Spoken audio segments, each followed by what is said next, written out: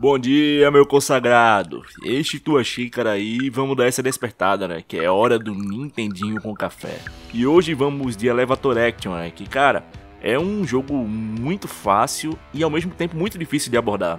Primeiro porque é simplesmente um dos jogos mais queridos que já vi. E nossa, cara, ó, é incrível como a popularidade deste título perdurou mesmo após seu auge.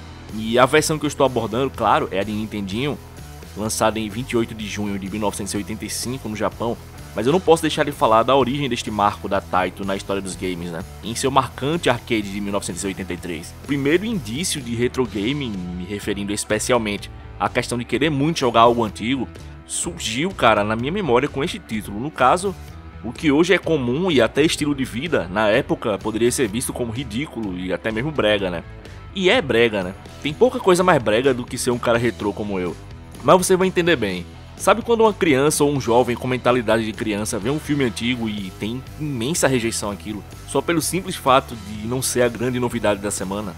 É, cara, é, é essa burrice fútil e ególatra, mesclada com a necessidade de zona de conforto temporal, bem percebida nas redes sociais ou nos noiados virtuais, né? Os caras ficam deslizando a tela do celular viciado em informação rápida. Informação mesmo, né? Bom, você entendeu. Ocorre que, exceto pelo fato de não existir ainda esses cracudos digitais, praticamente toda a sociedade era como o jovem é hoje. O que é engraçado, né? Porque as pessoas eram bem menos inteligentes antes, até pelo pouco acesso à informação. E a percepção estética era algo muito linear, cara. Menos os velhos, né? Velho enchia as paredes de calendário de qualquer ano, com foto de cavalo, de carro de arara, como se esses calendários fossem obra de arte, né? Mas no geral, gostar de coisa antiga passava uma percepção meio estranha, cara. Aí chegaram os clones de Nintendinho e chegou o Master System, Aí, tchau, Atari. Foi bom te conhecer, né? O Master e o clone de NES logo iriam empoeirar em cima de algum guarda-roupa ou dentro de alguma caixa, ou até ir parar no lixo, né?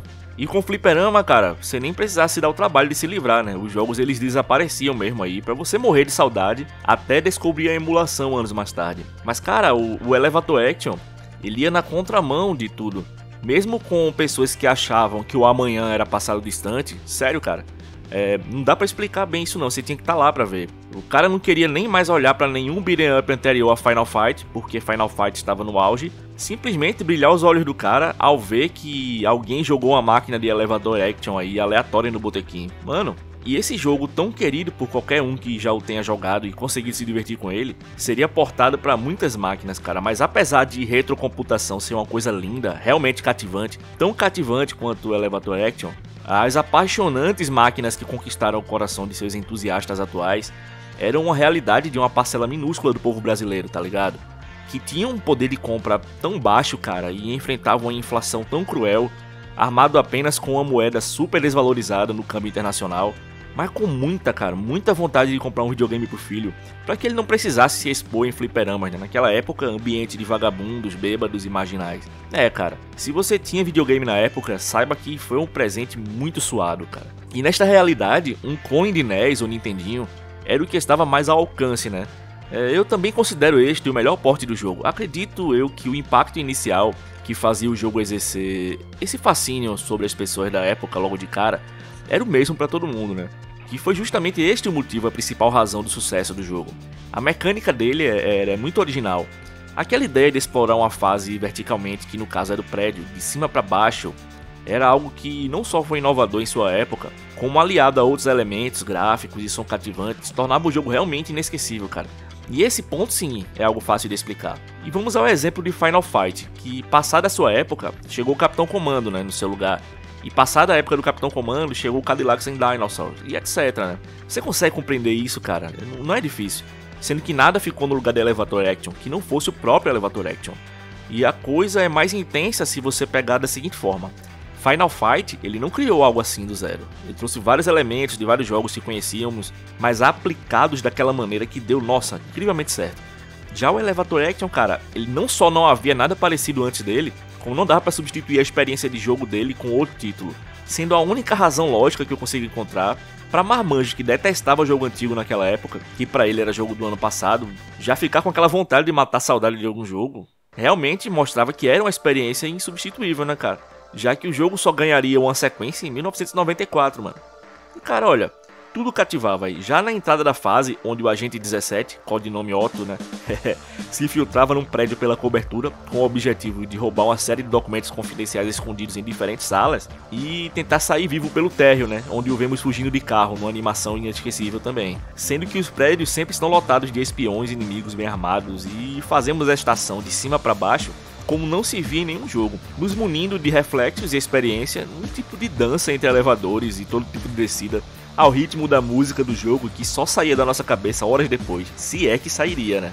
A título de curiosidade, o Sega Mark III, que conhecemos como Master System, ele só viria a ser lançado em 1985, naquela tentativa da SEGA de abocanhar uma fatia do mercado que o Nintendinho estava dominando, né? Só que aí acontece o seguinte, cara, o Master, ele não teve seu Elevator Action, tá ligado? E mesmo já estando no mercado, ele viu seu irmão mais novo, o SG-1000, recebendo um porte do jogo. E o Master não. Mas o que levou a SEGA, cara, a tomar essa decisão de pegar a licença de um jogo tão bem recebido e queimar essa munição com o SG-1000, ao invés de ser um jogo de entrada do Master System, é algo simplesmente inexplicável. Mas assim dá para começar a entender um pouco por que é que a SEGA do Japão apanhava tanto pra Nintendo, cara. Não é possível. Mas e você aí, mano? Você lembra de algum jogo que te fazia ter vontade de jogar, mesmo sendo antigo, naquela época que retro game era uma coisa ridícula? Eu lembro de mais alguns, claro, que chamavam a atenção quando voltava, mas o silêncio de quem reclamava que qualquer coisa de ontem era velha, aquela concentração, aquele brilho no olhar, cara, até então eu só vi Elevator Action proporcionar. Num botequim qualquer, num lugar que não importa, naquelas longínquas e inocentes jogatinas dos anos 80. Bom, se você está vendo esse vídeo fora do YouTube, saiba que tem o link de inscrição aí em algum lugar da tela ou no meu perfil.